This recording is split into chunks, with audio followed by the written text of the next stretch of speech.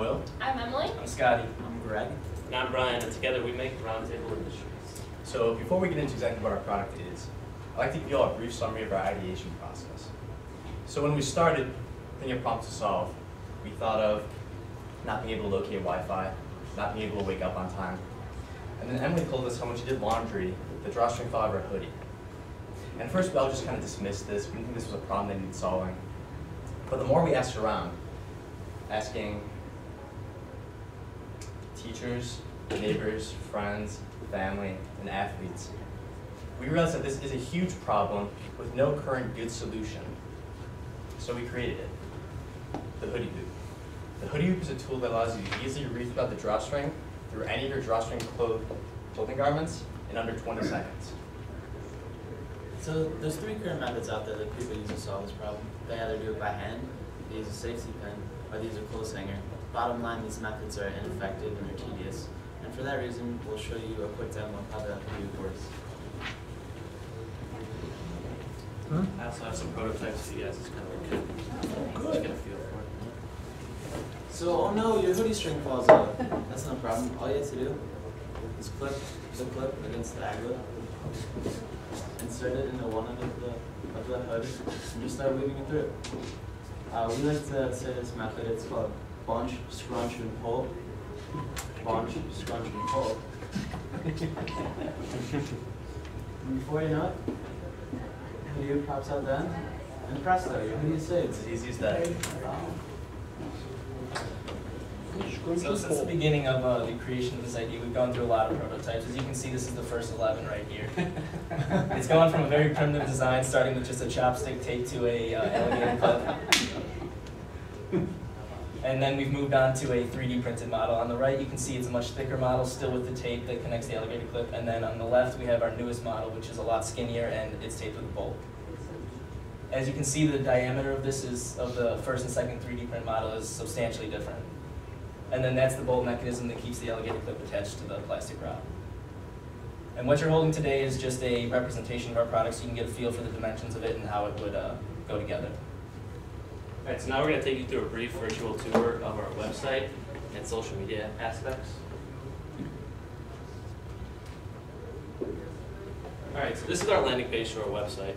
And when you get on there, the first thing we want everybody to see, every customer that comes in, we want to see this how it works video because we want to introduce them to the product and show them how really quick and easy this product is. So they're going to click on the video, they're going to look at it, they're going to see how it connects, they're going to see a quick video of just how it goes through. And this video, actually, we have it going in in 10 seconds, so they're instantly getting, or instantly getting interested in the product.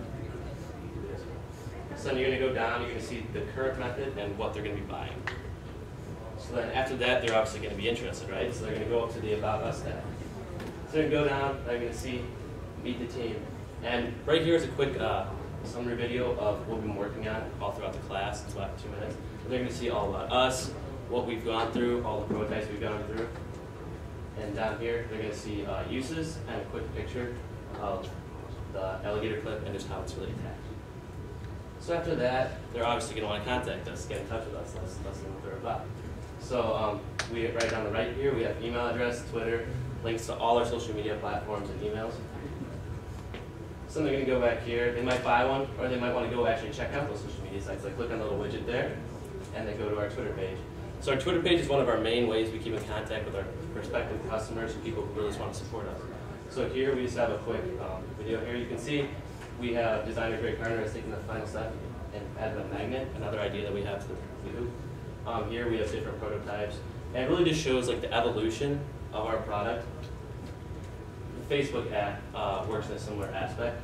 So here we have just some more pictures of the prototype, links to our YouTube page, they can just watch the videos that we post, uh, new uh, logos and designs. So then after they've looked at all our Facebook, Twitter, all our social media, you're there, after hopefully, they go back to our landing page, think about it, think about it, think about it, now they're gonna buy that product.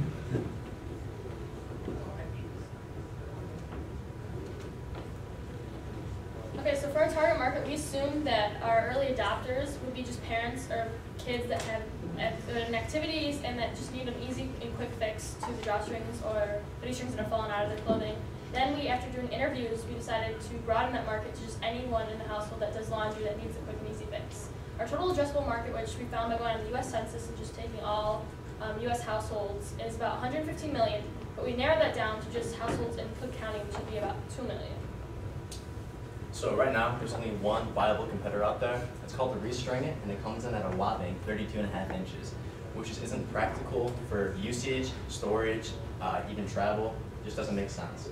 Price more than doubles the hoodie at $20, which is extremely high price for such an easy solution. And it's only sold on Amazon and his personal website, so you will not be seeing the Restring It in stores. So what makes us different?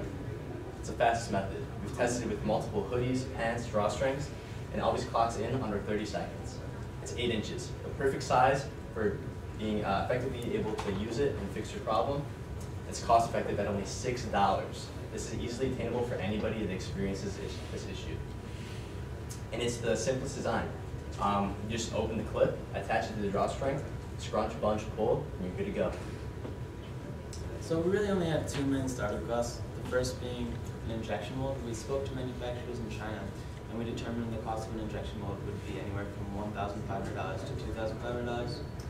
Um, and what that would allow us to do is take our alligator clip and insert it directly into the, the rod, so it's just one solid piece. We also spoke to manufacturers in the U.S. and we, we determined the cost would be around five thousand dollars here.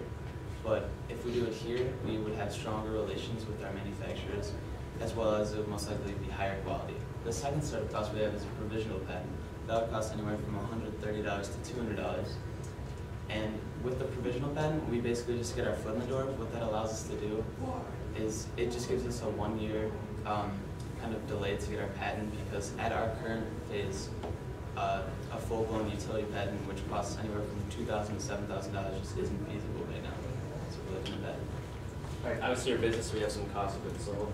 Um, basically what we've learned is that our costs from the manufacturer would be established and they would incur the cost of the alligator clip, the, the plastic and the labor that goes into making it. So we would get it in at one straight cost from one dollar to two dollars, so it keeps our margins mainly consistent. Um, the cost of packaging really ranges on where we buy it from, but we're thinking of getting a cylindrical tube to protect the hoodie hoop and put our logo on it, get a brand name out there and let people know what they're receiving. That's somewhere between twenty and eighty cents a box. And shipping obviously differs between whether we're going for China or whether we're going for the US. But regardless, we'd have to freight it to somewhere and then deliver it to our customers or retail stores.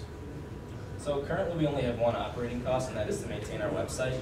It comes in at eight dollars per month, and that's just a way for our customers to contact us and potentially buy the products directly online. And as we uh, increase our inventory, we want to start seeing the hoodie hoop in various stores, including craft shops, convenience stores, and discount retailers like Target and Walmart. And this can greatly be supplemented through social media as more people get involved as the popularity increases. All right, this is our total projected revenue for the first five years. Um, we started off with selling 1,000 units in our first year, which we think is obtainable. And you can see we come in at a $500 profit, around $500 profit in the first year, and that's including the cost of our provisional patent, as well as the cost of a new mold that we'd have to incur. And as you can see here, our projected revenue goes up each year uh, due to the law of diminishing marginal returns, in which we would get our prototypes for, or our product for less each time. Uh, the most transparent way for us to measure our success is through customer feedback. Up to this point, customer feedback has been very valuable in both uh, solidifying our price point and getting a solid design that works and is effective in the best way. Uh, this product has a very good I want one factor, where as word of mouth spreads and popularity increases, people really want the product because it's a great product that works. And this is greatly supplemented by gaining traction on social media through shares and likes. So what we need, we need, um, what we need is going to depend on what we get when we talk to for manufacturers and packaging. We're in contact with about 15 people in China, and we're also contacting people here in the United States. Um, so packaging we found around a medium price, about 50 cents per box. Um, but again, this is all going to depend on if we decide to stay. And also shipping is going to depend if we stay or if we decide to go to China. Another what we need is for a provisional patent, which is just, we want it for a safety net because it's not feasible to be able to have a real patent because it's more expensive. And right now we can't afford that, but we'd like to get that in the future. So if we can achieve all these things, none of us have any doubt whatsoever that the hoodie hoop will be in stores, on shelves, and in homes. Thank you so much for your time.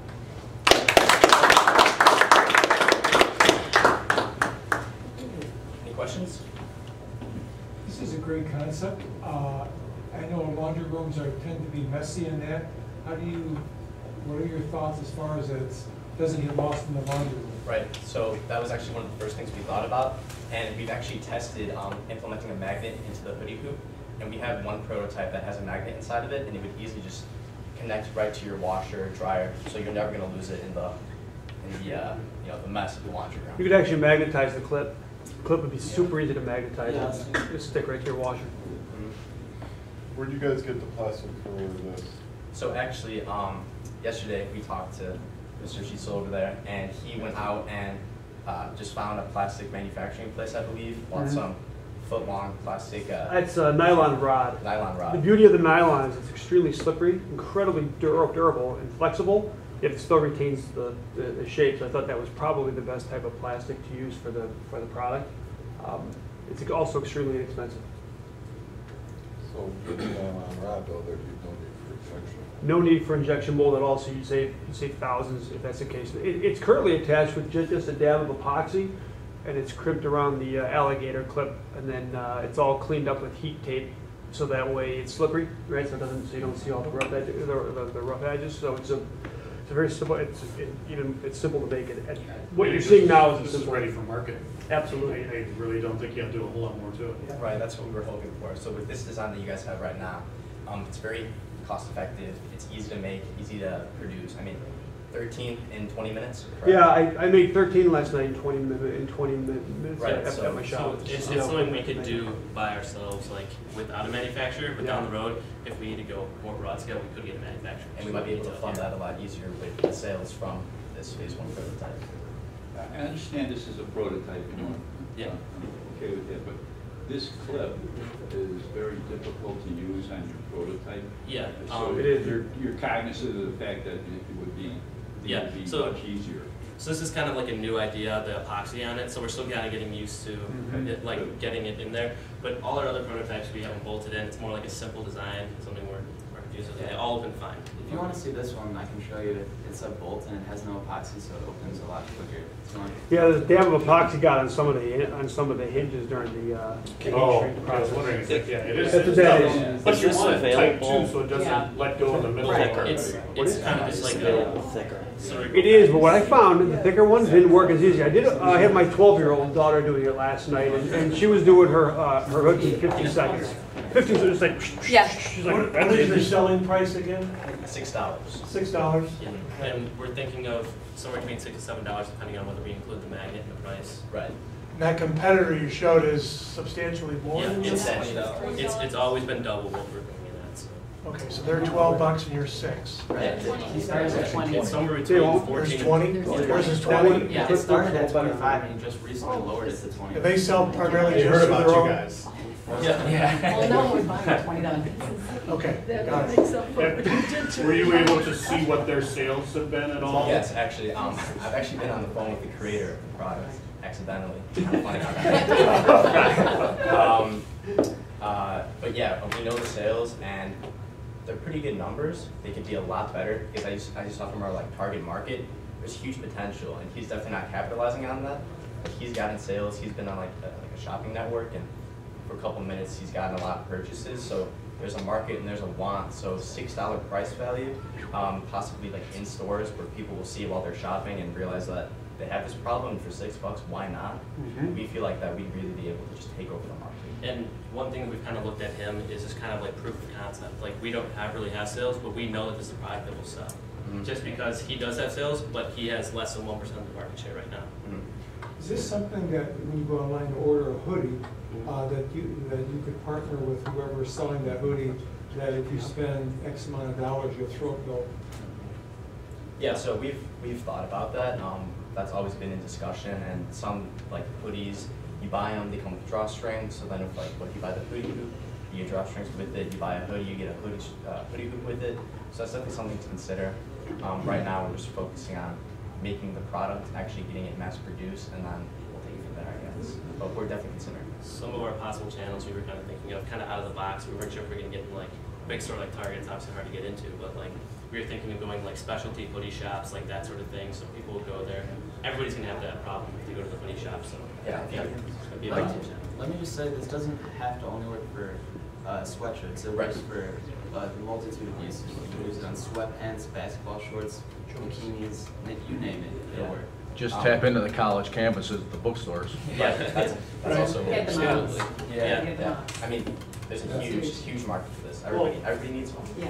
And with a, with a product, you, you, an investor's also gonna look at what, what else can you go with it too. But I think one of the biggest things, and again, I've got teenagers, is with this easy application, you could actually switch out the color of your hoodie drawstring according to your school colors, Yeah. according to the mhm. day. I mean, you change up the, the, the garment, and then you've got another product, you sell this with a five or six different colored drawstrings that you can reuse for your hoodie. Right. So it's not only just a product that helps fix it falling out, it's also a product that allows you to easily customize your hoodie or your pants to your, your school colors or whatever you want, which is a really nice uh, side to the hoodie.